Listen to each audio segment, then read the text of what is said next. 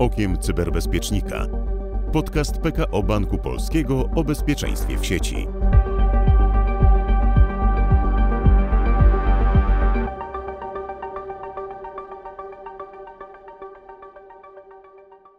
Dzień dobry, ja nazywam się Marcin Ganclerz i zapraszam na kolejny odcinek podcastu Okiem Cyberbezpiecznika. Dziś porozmawiamy m.in. o cyberprzemocy i hejcie w sieci oraz o tym, jak skutecznie edukować dzieci i młodzież w zakresie cyberbezpieczeństwa.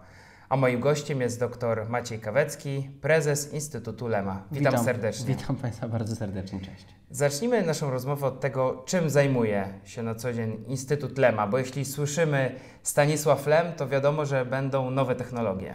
Tak, e, traktujemy literaturę Stanisława Lema jako punkt wyjścia do mówienia o takim zrównoważonym rozwoju technologicznym. Czyli e, z jednej strony mówimy o cyberzagrożeniach, taką główną, jedną z ważniejszych akcji dla nas jest akcja Ogarnij Hejt, czyli walka z, no, o bezpieczeństwo przestrzeni cyfrowej poprzez edukowanie dzieciaków w szkołach.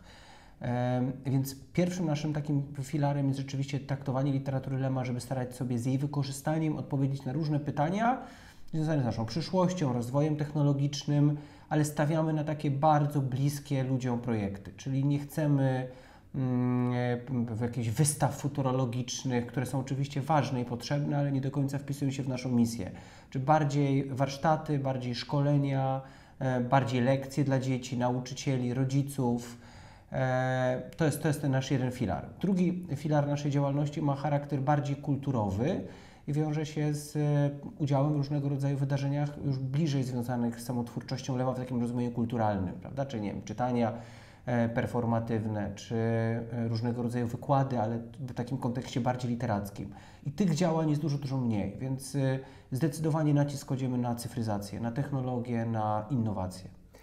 To jest duże wyzwanie edukować dzieci i młodzież w zakresie cyberbezpieczeństwa, bo często jest tak, że dzieci jeszcze nie potrafią mówić, a już potrafią przesuwać zdjęcia na smartfonie, więc ta technologia jest z nimi od najmłodszych lat.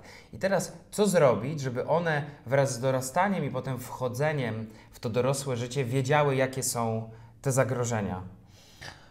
E, Dzieci znają zagrożenia, to znaczy potrafią je. To, to, to jest bardzo ciekawe doświadczenie z naszych lekcji. My już przeszkoliliśmy kilka tysięcy dzieciaków i to jest bardzo ciekawe, dlatego bo dzieci znają, wiedzą czym jest e, cyberbullying, wie, wiedzą czym jest patostreaming, wiedzą czym jest sexting, wiedzą czym jest hejt w takim rozumieniu teoretycznym.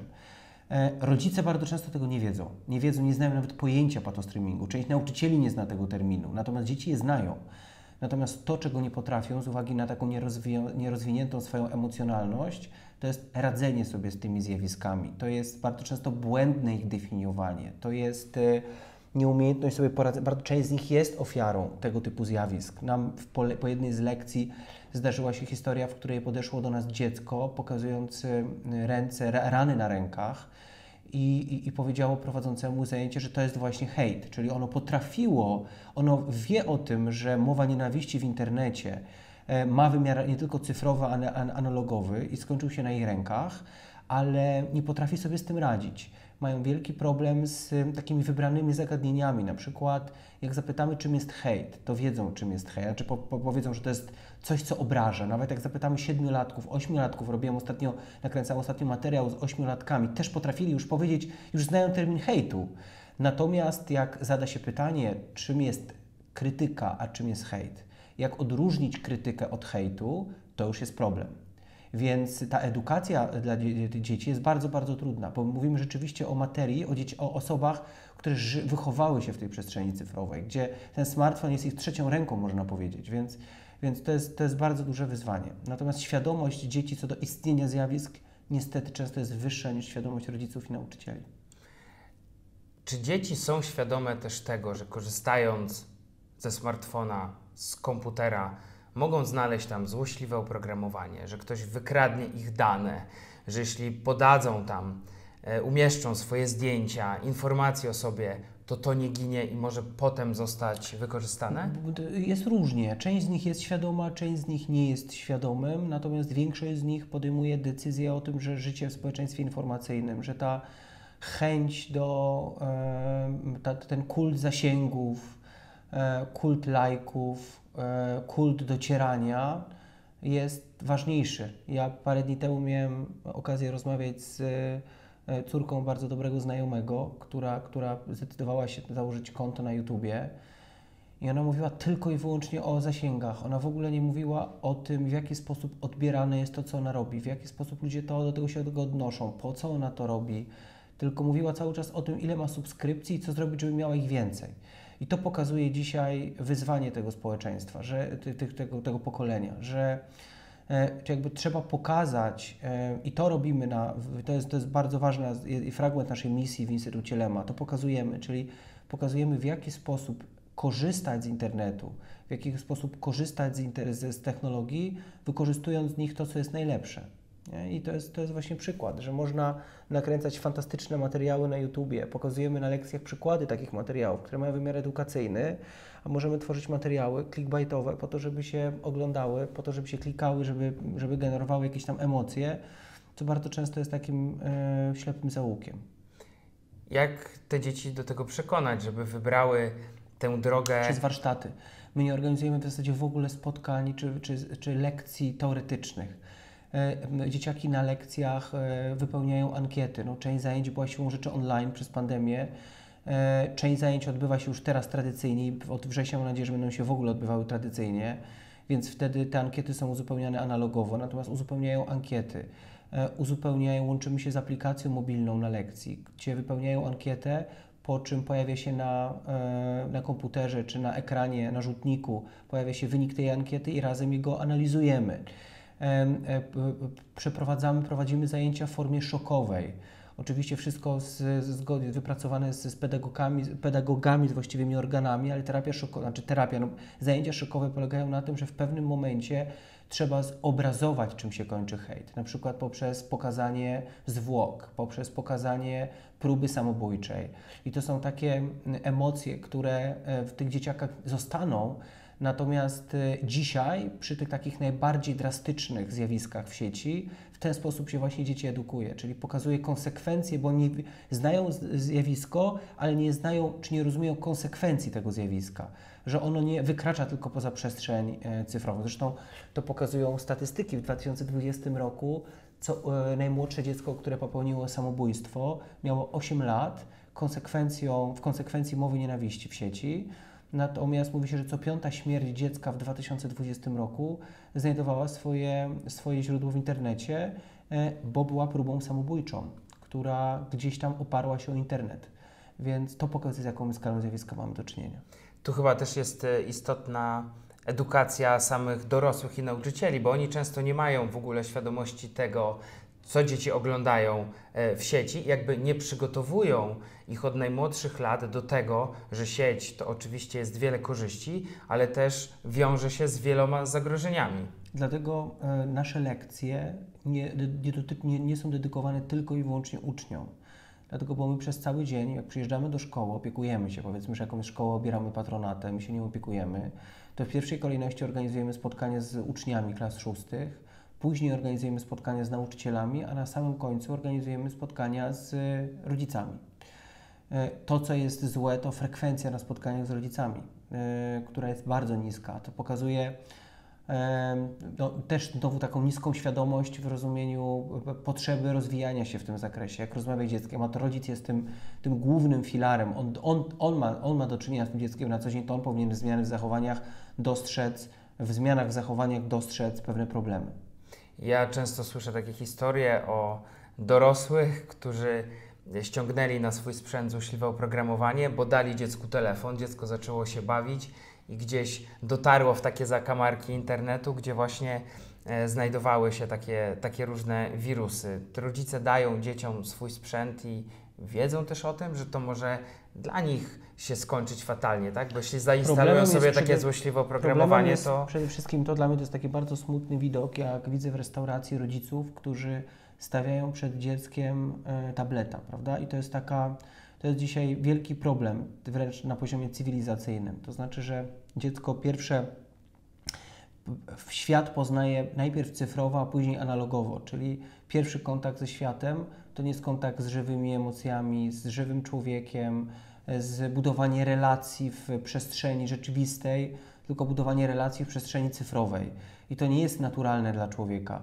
E, dlatego, bo cyfryzacja mm, w jakiś sposób upraszcza, tworzy pomiędzy nami barierę, e, tworzy pomiędzy nami pewną formę granicy, z którą jesteśmy w stanie sobie radzić, z którą jesteśmy w stanie funkcjonować, pod warunkiem, że jesteśmy świadomi, jesteśmy dojrzali. Czyli jesteśmy w stanie dojrzali, dojrzali świadomie do tego podejść.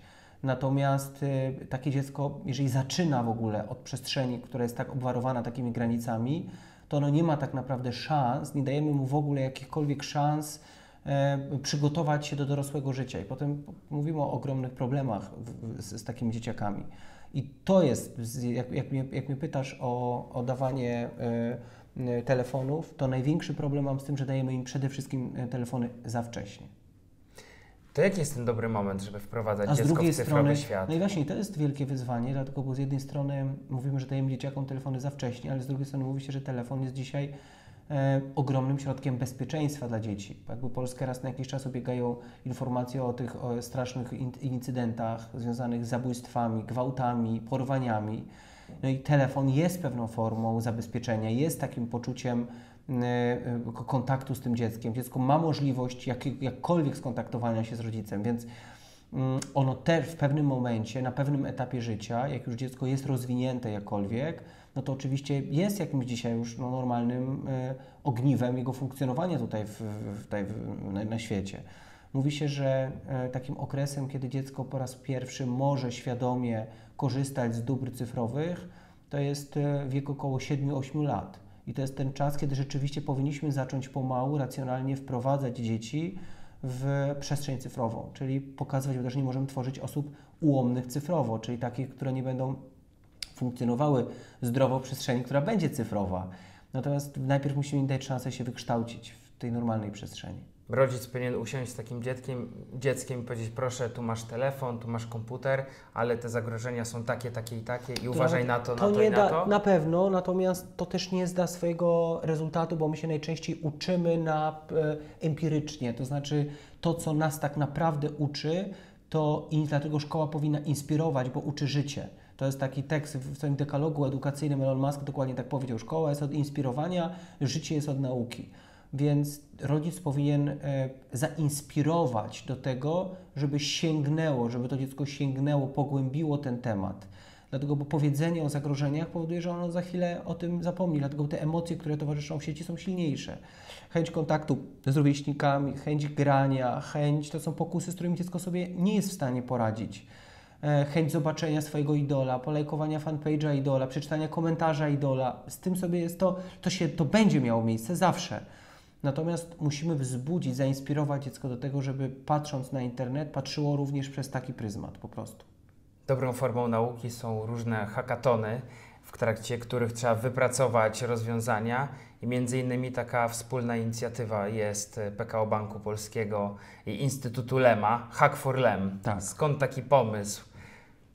No, to jest wydarzenie, które, które jest organizowane jeszcze przez trzeci podmiot, jakim jest Microsoft, czyli PKO Microsoft i nasz instytut.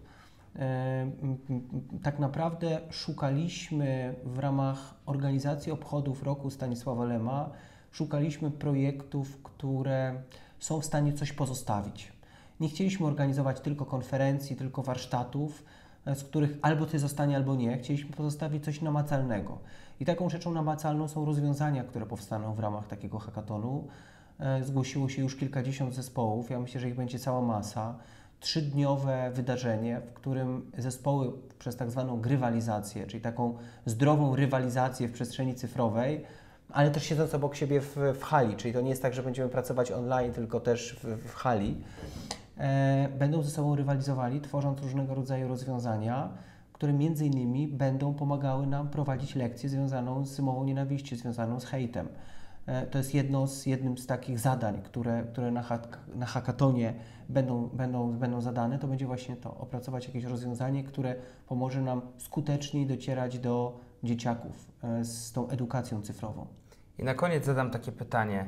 Technologia to jest na pewno ogromna korzyść dla nas, ale mamy z tego więcej korzyści, czy więcej właśnie takich zagrożeń, z którymi dzisiaj nie potrafimy sobie no, poradzić? Zdecydowanie więcej korzyści. No, pandemia pokazała, jak przede wszystkim mamy wielkie korzyści związane z e, cyfryzacją. Dzięki, dzięki tak naprawdę cyfryzacji, dzięki tym dobrom cyfrowym jesteśmy w stanie wszyscy być ze sobą w kontakcie. Telemedycyna, e, rozwój, e, właśnie rozwój medycyny, nieprawdopodobny boom cyfrowy. Parę dni temu miałem okazję uczestniczyć w operacji usunięcia kostniaka, e, no- nowotworu, bardzo rzadkiego e, nowotworu e, głowy, usunięty tylko i wyłącznie dzięki goglom VR-owym, które w trakcie operacji lekarz miał założone na głowie. To są, wartość tego, co niesie z nami postęp cywilizacyjny jest nieprawdopodobna. Natomiast rzeczywiście wydaje się, że nie- nieporównywalnie silniej względem wcześniejszych wynalazków, dzisiaj one zaczynają być odhumanizowane. Czyli odchodzą trochę od jakiejś takiej istoty człowieczeństwa, istoty, odchodzą trochę od tego ist- istoty na, naszego bycia tutaj, czy jakiejś relacji pomiędzy sobą. I dlatego musimy bardzo racjonalnie wybierać rozwiązania, z których korzystamy. Trzeba pamiętać o tym, że możemy się zrobić, przy trans, podejmując transformację cyfrową, możemy podjąć dwa równoważne błędy. Takim samym błędem jest niedoszacowanie cyfryzacji, czyli niedocenienie, jak przeszacowanie cyfryzacji, czyli uznanie, że cyfryzacja jest w stanie w zasadzie rozwiązać każdy nasz problem, każde wyzwanie, e, często w oderwaniu od jakiejś kultury organizacji, od świadomości cyfrowej organizacji, w której przeprowadzamy transformację cyfrową i to są błędy, które możemy popełnić i popełniamy. Dlatego warto z tych technologii korzystać z głową. Bardzo serdecznie dziękuję za Bardzo rozmowę. dziękuję Ci za rozmowę. Słuchaczom za to, że byli z nami i do usłyszenia w następnym odcinku.